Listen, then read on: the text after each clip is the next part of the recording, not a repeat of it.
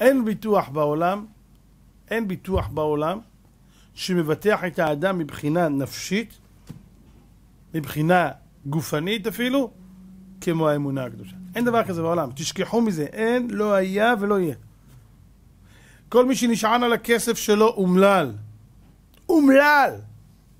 אומלל הכי גדול בעולם. מישהו תיאר לעצמו, רבותיי, שתבוא תקופה כזאת שקוראים לה קורונה? אה? קראונה?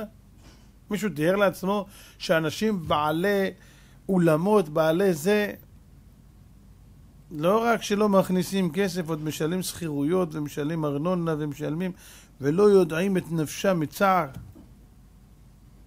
אה? זמרים ידועי שם. בעולם הבוהם החילוני, האמינו פעם שיהיה יום שהם לא יעבדו? הם פתאום מוצאים את עצמם מול שוקת שבורה. אין במות. ומבמות הגיא. זרקו אותך מהבמה למטה. איפה הבמות? הגיא.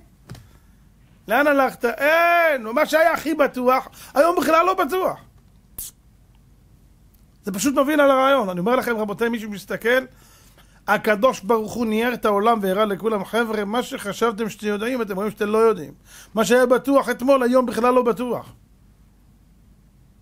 משהו שהיה נראה אתמול הכי פשוט והכי הכי מובן מאליו, שמה זה לצאת לרחוב? היום, שמע, פתאום סגר, פתאום פה, תיכנס, אל תיכנס. בית ספר, מה זאת אומרת? בית ספר, בית ספר. גן ילדים, גן ילדים. לא, לא פשוט, לא מובן מאליו. בית ספר, בית ספר לא עובדים, גני ילדים, תראה חצי מתכונת. יבואו ביום כזה, יבואו ביום כזה. מה זה? מי חלם פעם על דברים כאלה? חוסר ודאות. הקדוש ברוך הוא מערער לכולם את הביטחון שלהם במה שהם האמינו עד היום, והאלילים קרות יכרתו. אנשים קראת את כל האלילים.